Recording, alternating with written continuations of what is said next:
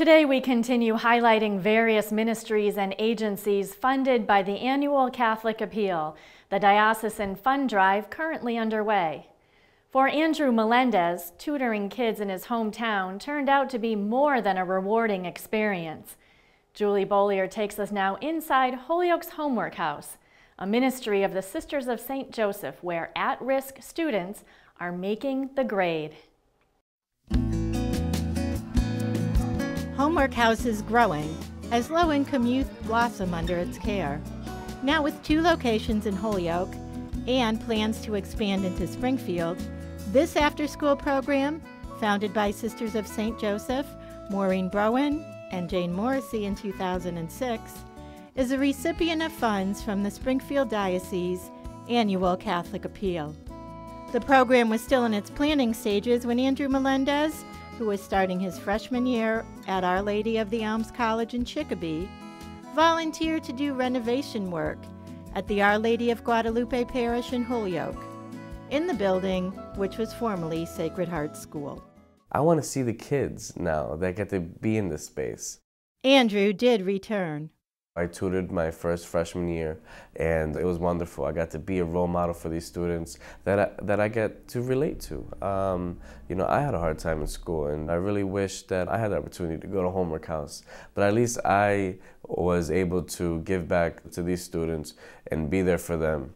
Andrew recalls a conversation he had with Sister Maureen Kervick, who was director of campus ministries at the Elms.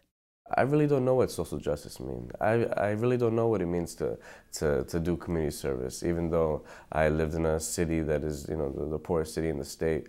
So I said, you know, I really want to help out. Andrew stayed at Homework House throughout his college career. In addition, he also went to Honduras with Passionist Volunteers International and helped rebuild homes in New Orleans through Habitat for Humanity. It's been a great five years. Um, you know, starting off tutoring was really wonderful, uh, and then I, you know, I guess I did a pretty good job. You know, there was an opening for kind of like an assistant to really help out with, you know, uh, uh, you know, walking the kids, really kind of just supervising. So even though I was a sophomore in college, uh, kind of my leadership skills were shown to the sisters of uh, St. Joseph, Sister Maureen Broughan and Sister Jane Morrissey, the two co-directors and co-founders of Homework House. Andrew's role at Homework House continued to grow, all the way up to program director. One of the things that was my job titles was to go out to the other colleges and recruit more tutors for the program with Sister Maureen and Sister Jane. And then throughout the years, I just gained a little bit more responsibility. Andrew Melendez is not only a role model for kids in Holyoke, but is also a leader in his community. I met with Mayor Elaine Pluta. Andrew has done a, a, great job here in the city and is being a, a great role model to the, especially the young people. He is on the Charter Commission. He is also received the uh, award for from the Puerto Rican community, uh, La Dia de Familia group and he also received a, an award um, from me, but it was on behalf of the citizens of Holyoke, uh, to congratulate him and thank him for all the work that he's done on behalf of the city and uh, the city's young people. Growing up in Holyoke, Andrew takes great pride in his hometown. I grew up in Springdale. I was born and raised at 6 James Street. I had a hard time, you know, going with the flow, I guess. I would kind of get in trouble because I would say, hey, that's not right. It's very important for my friends or for the kids now in high school to say, you know, we need to, you know, speak up for ourselves.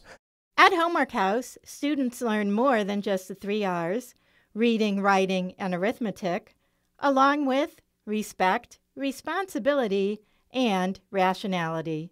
When I first came to Homework House, I was really nervous because um, this was my first day. And then I told my parents how fun it was to be in homework house.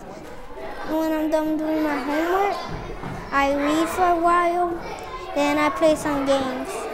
Kids aren't the only ones who love the program.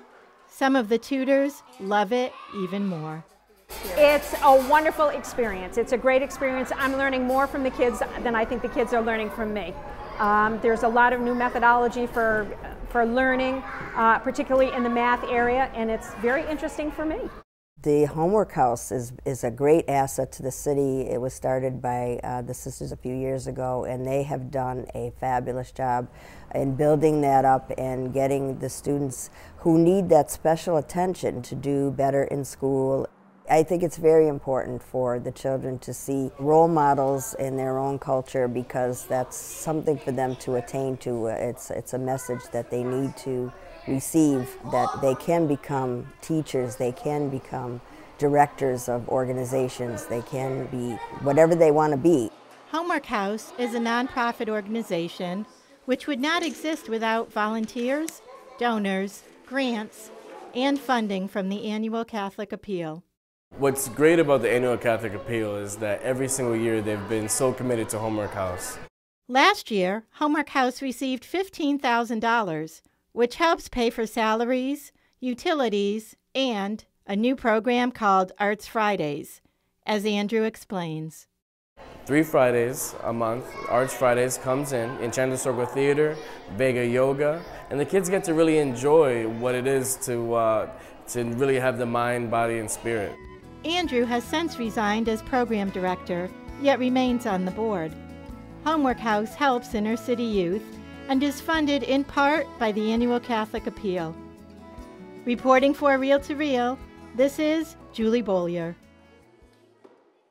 And remember, Homework House is one of more than 40 ministries and services which receive funding from the annual Catholic Appeal.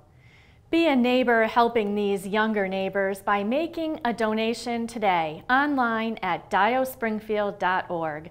On behalf of all those from all walks of life who will benefit, thank you.